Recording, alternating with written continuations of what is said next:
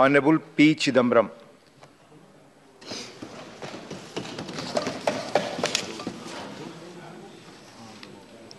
Mr.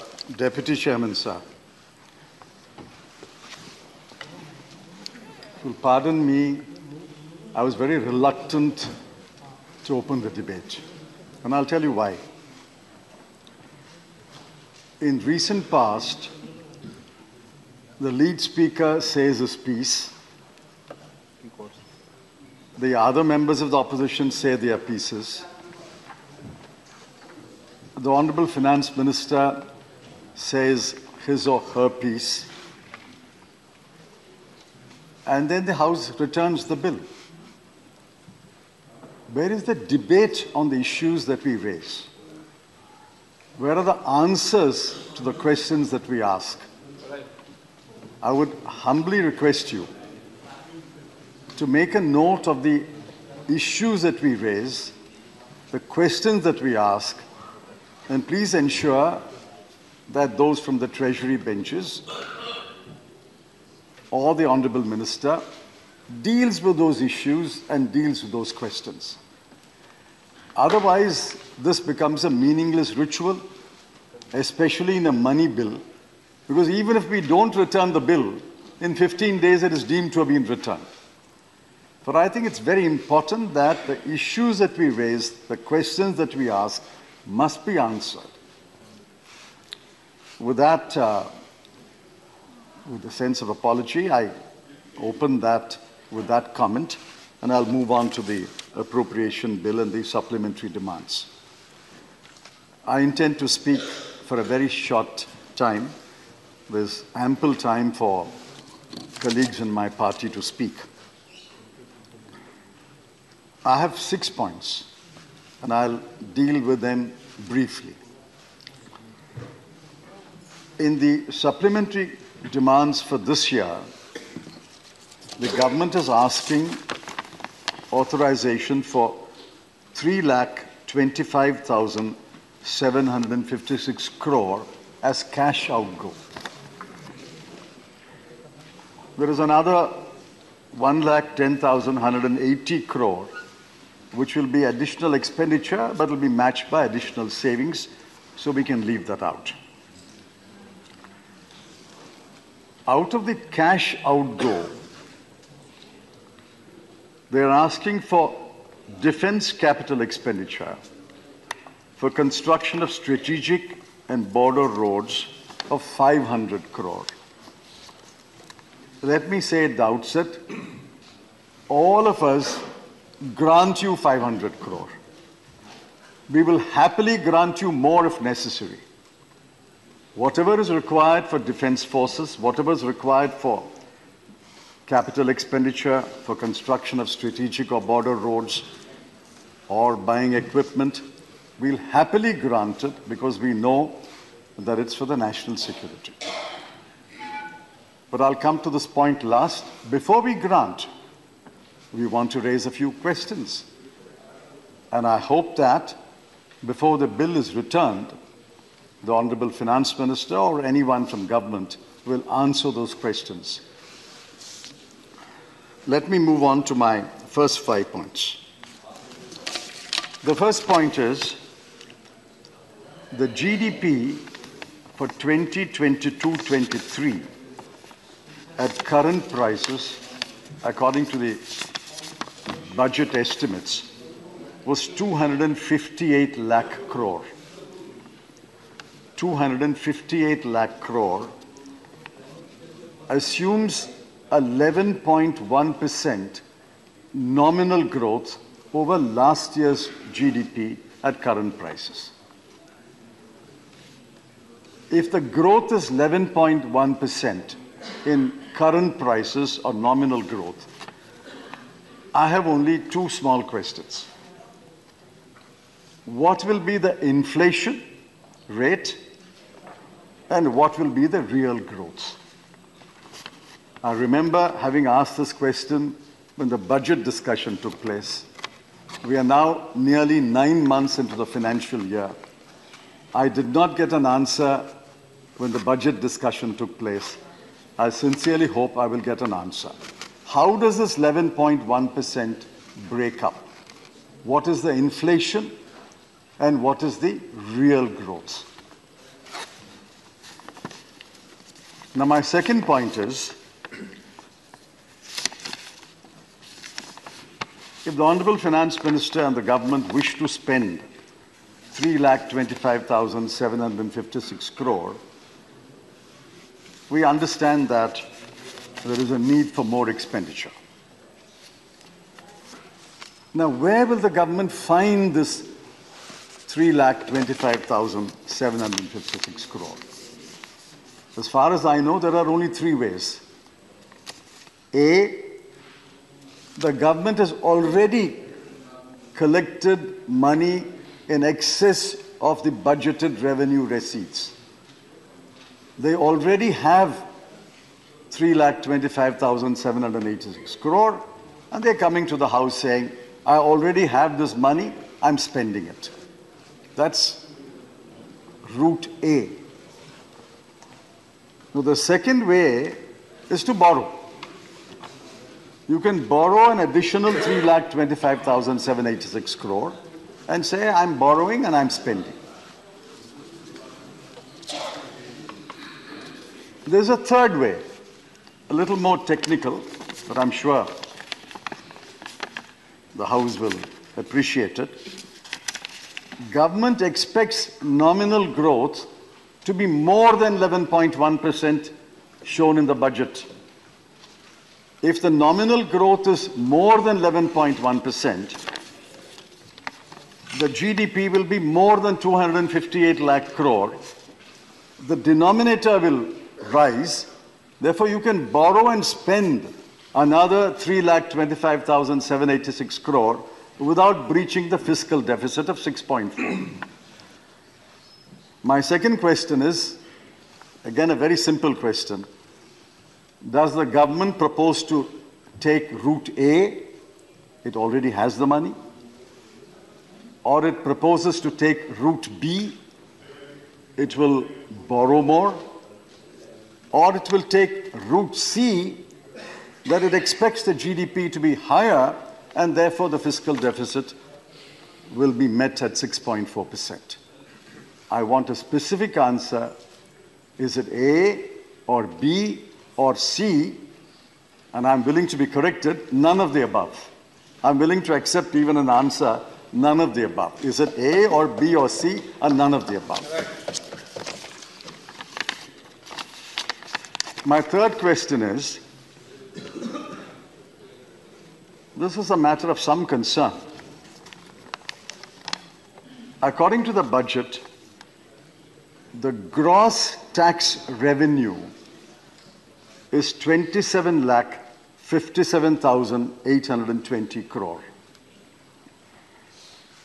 Of this, corporation tax, this is on corporates, is 7 lakh 20,000 crore. Income tax is 7 lakh crore. Now, if you do the proportions, you will find that corporate tax accounts for 26.1% of the gross tax revenue. When this government came into office in the previous year, 2013 14, the gross tax revenue was 11 lakh 55,838 crore,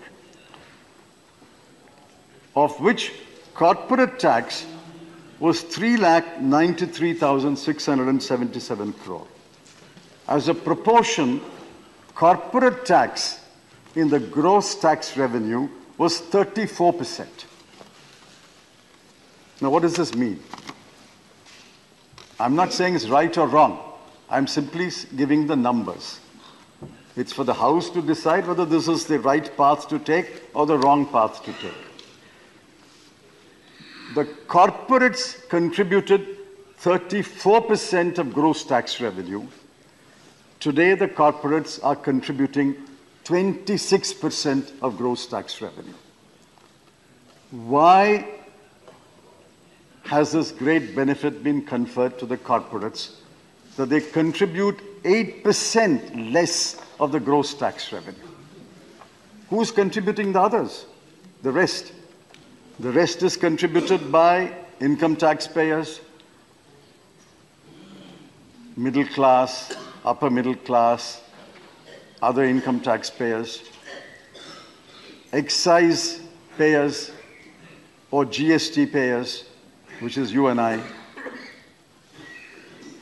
customs duty, which is passed on to the common people,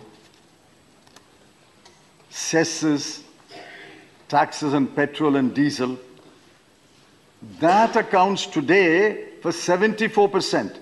Corporates are only contributing 26%. Nine years ago, corporates were contributing 34%. It is because this government has conferred a huge bounty on bonanza on corporates.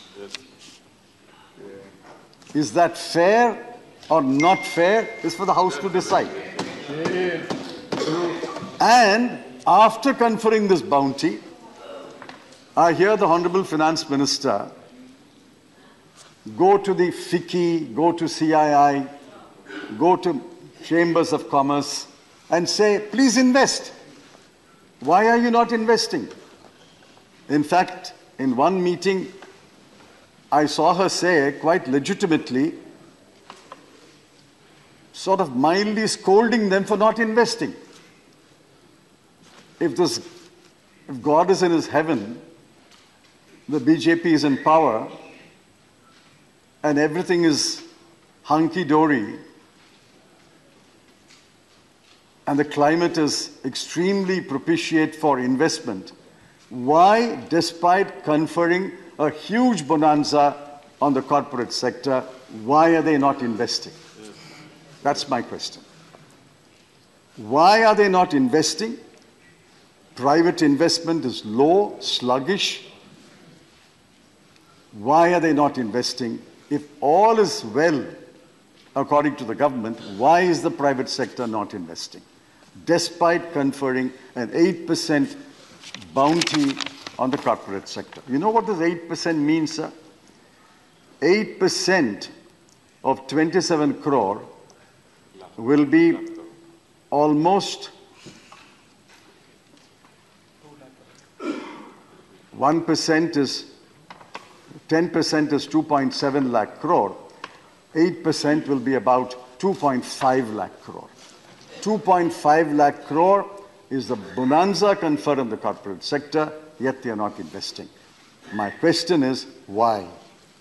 And I want an answer so that we can be enlightened why the private sector is not investing. My fourth point is in 1990 91, GDP at constant prices was about 25 lakh crore. That is when, after that, liberalization started. In 12 years, this GDP doubled to 50 lakh crore.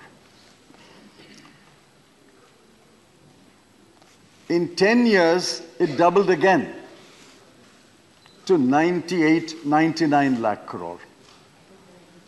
So the first time the, the GDP doubled was, it took 12 to 13 years. Second time, 10 years. It doubled.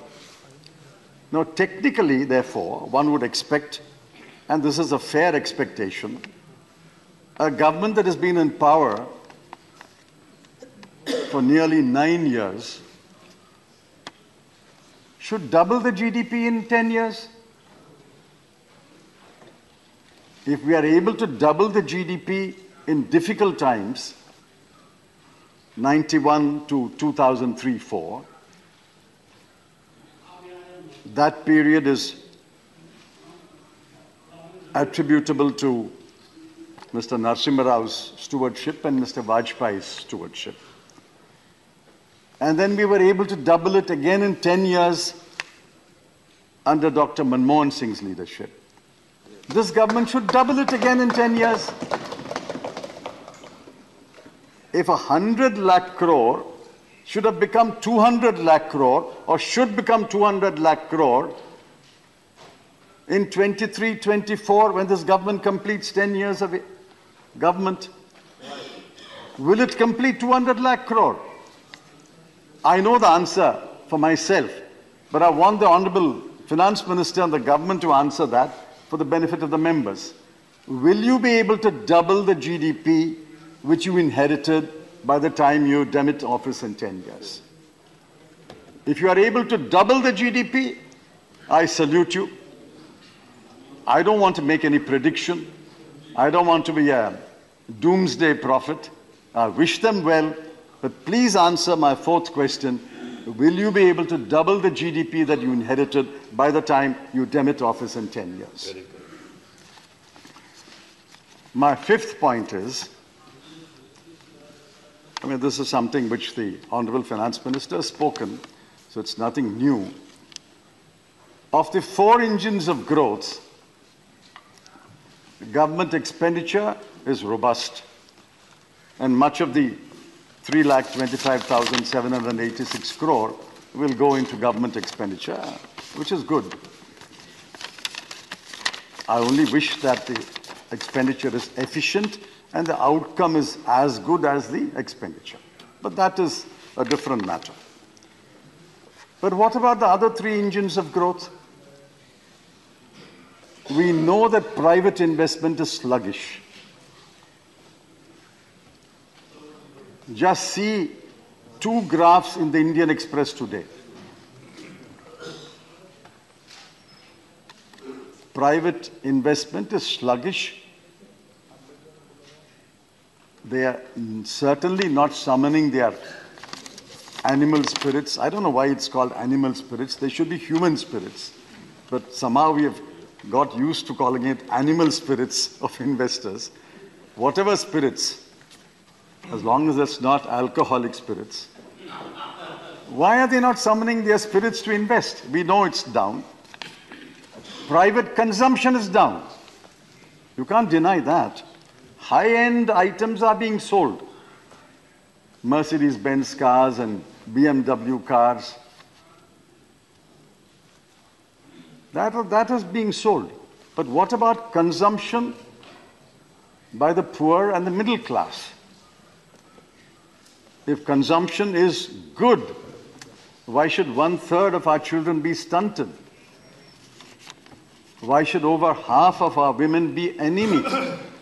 These are all accepted statistics in government publications. Government's National Family Welfare Survey says these numbers. So consumption is low, except the high-end items of the very, very rich Consumption is low. And the fourth engine, exports are low. The trade deficit is increasing. Our trade deficit with China alone is 73 billion. 73 billion dollars with one country. Our trade deficit, the numbers are there in today's Indian Express. The graph of exports and imports and the gap known as trade deficit is higher. So if three of your four engines are not growing, why? There must be an explanation, there must be an answer. And has the government taken into account that many of the world's leading economies are headed towards a recession today? Britain is in a recession. Germany is in recession. The US is in a technical recession, except that their employment growth is robust. France and Italy may escape recession. Japan is, as you know, is quite happy with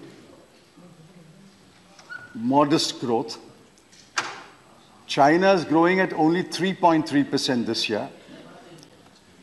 Therefore, many of the countries, many of the countries are heading towards a recession, leading economies, are heading towards a recession. Welcome, Mr. Chairman. If many of the countries are headed towards a leading uh, toward, leading towards a recession, I, my question is simple, without blaming anyone. Does the government take into account, reckon the fact that the world's leading countries are heading towards a recession. If they are leading towards a recession, and if three of your engines are sputtering, how do you propose to deal with the situation? How do you propose to stimulate growth? This is my fifth question. Sir, you have come when I'm completing my five questions, but there is still one left, and that's the most important one. And I hope that I'm so glad the most important is kept. I said at the first that I will keep it in the hope that you will come at that time. Mr. Chidambaram is very senior. I claim to be senior to many, but he is the one acknowledged more senior. Now, I said at the opening, the government is asking 500, 500 crore for defense capital expenditure for strategic roads. And I said, without a dissent, without a murmur, the government will gladly grant the government 500 crore or even more. But I want answers to a few questions. These are strategic and border roads in the northeast, is what the supplementary grant says. Now we know who is the threat in the northeastern border, northern and eastern border. So our questions are very simple questions, which we are asking again and again.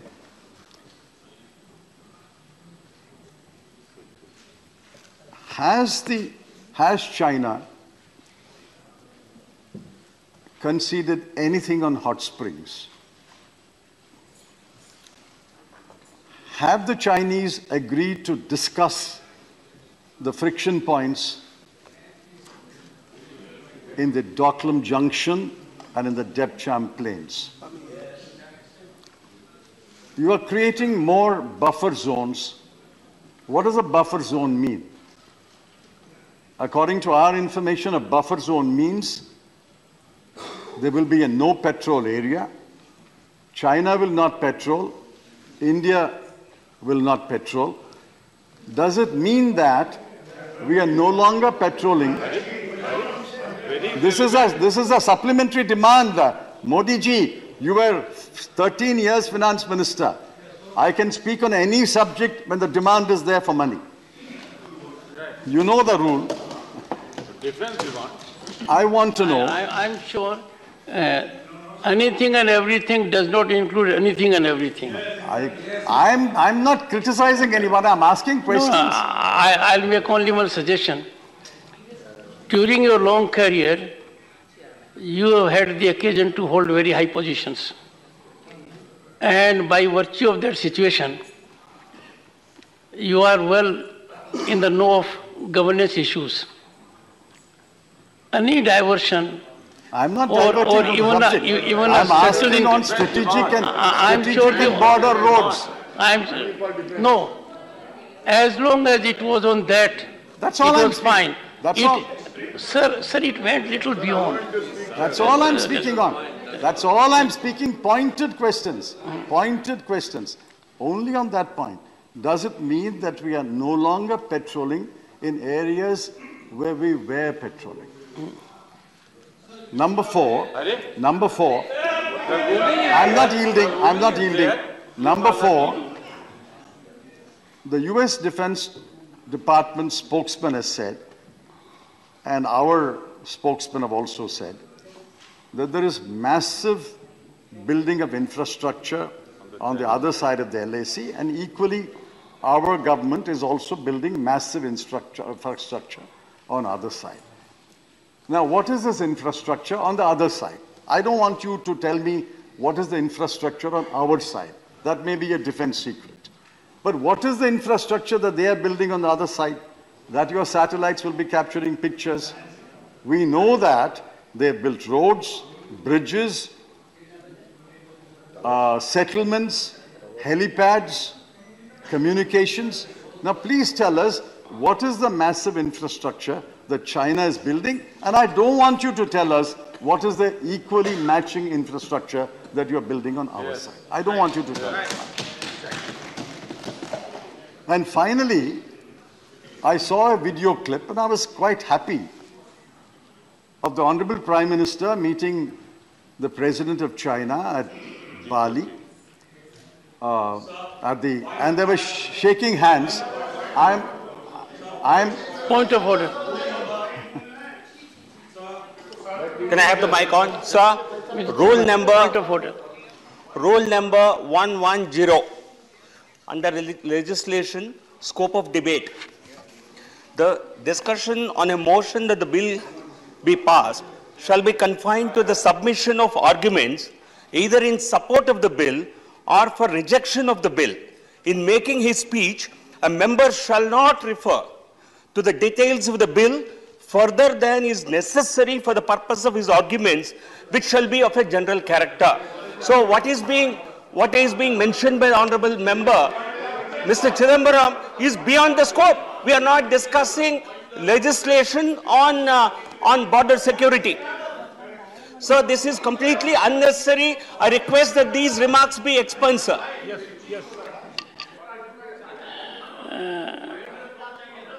The honorable member has uh, raised an issue pertaining to applicability of Rule 110.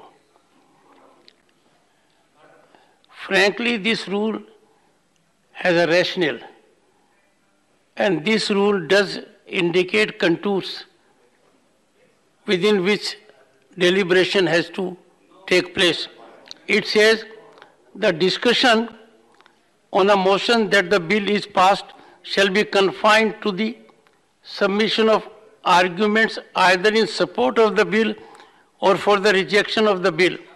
In making his speech, a member shall not refer to the details of the bill further than is necessary for the purpose of his arguments, which shall be of a general character.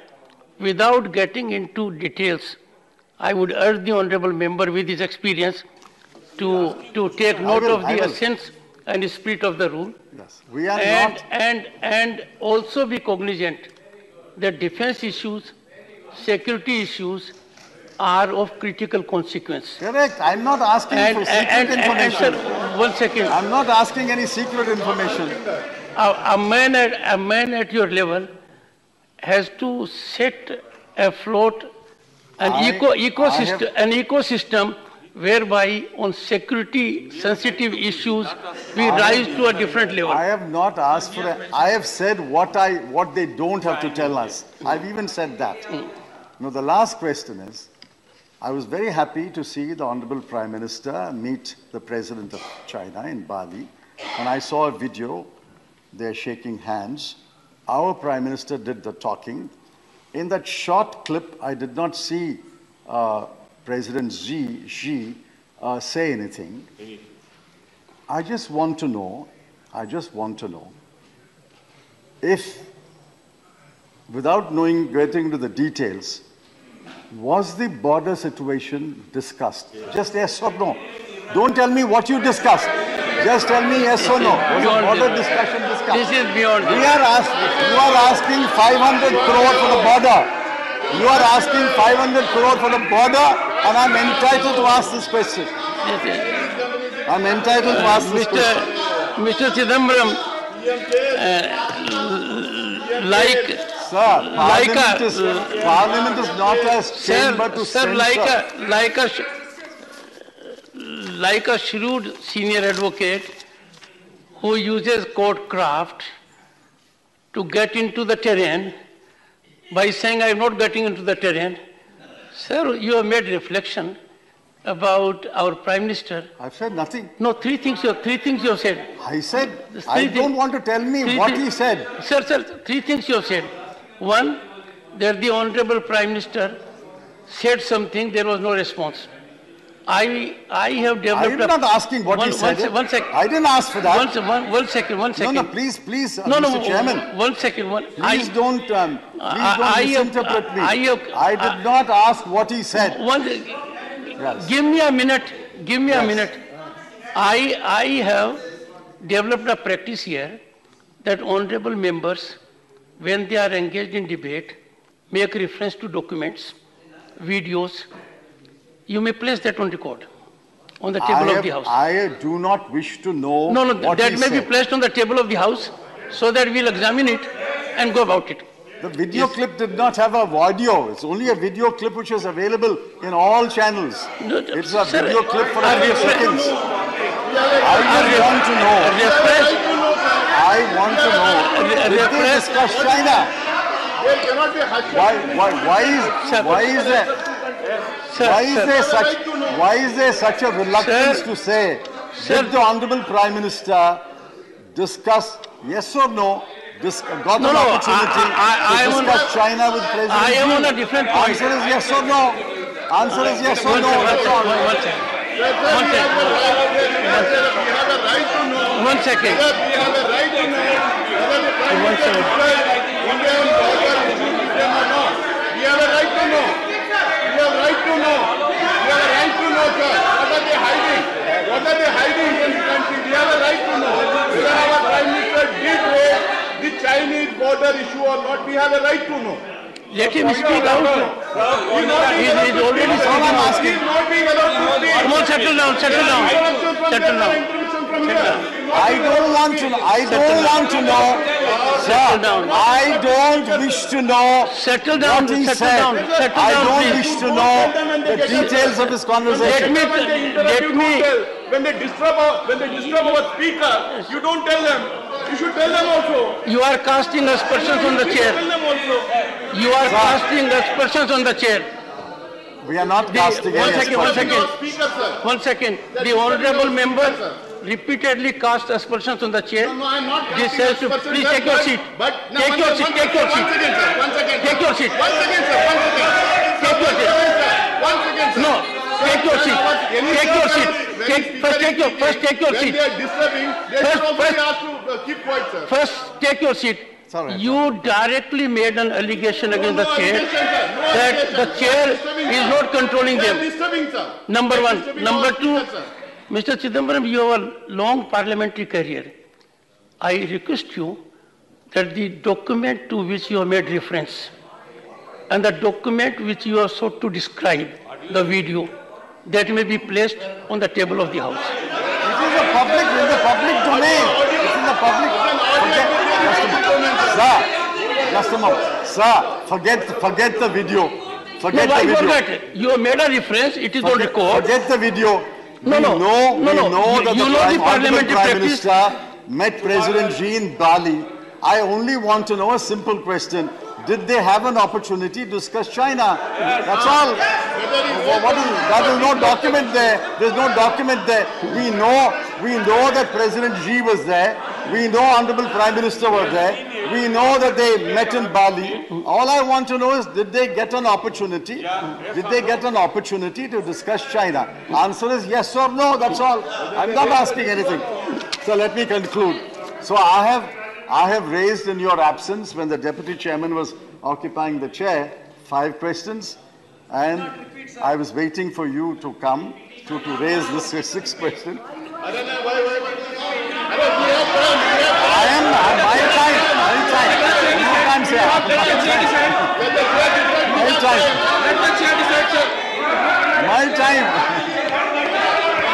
Who is he to, who is he, is he giving a ruling now? Is he giving a ruling now? One second. One second.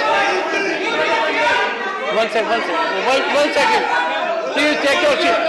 Take your seat. Take your seat. Take your seat. Take your seat. Everyone must be on the seat. Please take your seat. Take your seat. Sir, Now, one, one second. I'm concluding, I'm One one concluding. second, Before, before I'm you concluding. conclude. Before you conclude. I'm concluding. One second. I'm concluding now. Take your seat. Take it. Take. Take. Take. Take your seat. Take your. Take your seat. Take your seat. Take it. Honorable members. It is very painful. Every time, every time we send a signal from the upper house that generates disillusionment. People are worried. Is it the way the upper house should be conducting itself? Are we going to send such kind of signals? And I am little surprised the kind of body language aggression I have to face. That is not the style of anyone else. We don't have to act in group. We don't have to be on our feet. I try to accommodate everyone with whatever one has to say. If I have used my authority to issue a direction that is based on my long experience, I was involved with parliamentary affairs three decades ago. This is the wholesome practice. If an honorable member has chosen to make reference to a document, the chair is well within its rights to direct the member to place that document on the table of the House. And that for a simple reason that members are entitled to analyze it, assess it, and they take it forward. I am sure the honorable member will keep that in mind and do it during the course of the proceedings today. Please continue. Sir, therefore, I sincerely hope that, although this House um, can only recommend on a supplementary demand and an appropriation bill, since a large amount of 3 lakh 25,756 crore, we, we don't grudge if it's for relevant expenditure. We are granting this amount. I would sincerely hope that the government's treasury benches and the Honorable fin Finance Minister will enlighten us on the questions that I've raised. Yes. Otherwise, as that famous saying, saying is, uh, we are in the same advanced stage of wisdom at the end of the debate as we were when we began the debate. Thank Very you. Good. And uh, I was listening to you in my chamber, so I am fully updated with the other issues also. Now be the first to know about the latest updates on our new news app. Go on your Android or iOS, search for HW News Network. Download our app, choose the language you prefer to get updates in and be up to date with the latest news.